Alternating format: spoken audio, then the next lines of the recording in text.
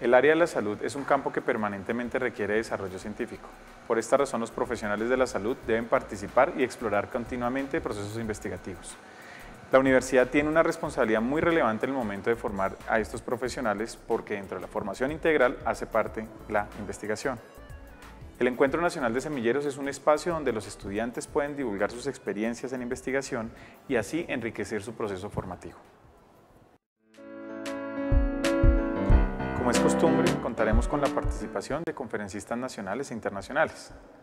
Como novedad para esta ocasión tendremos la participación de colegios públicos y privados que nos contará la experiencia de investigación y así conocer el proceso científico desde el colegio hasta la universidad. Es así que la Fundación Universitaria de Ciencias de la Salud tiene el gusto de invitarlos al Encuentro Nacional de Semilleros de Ciencias de la Salud en su cuarta versión, que se llevará a cabo los días 23, 24 y 25 de agosto en el auditorio de la Cámara de Comercio de Bogotá, ubicado en la calle 26 con avenida 68.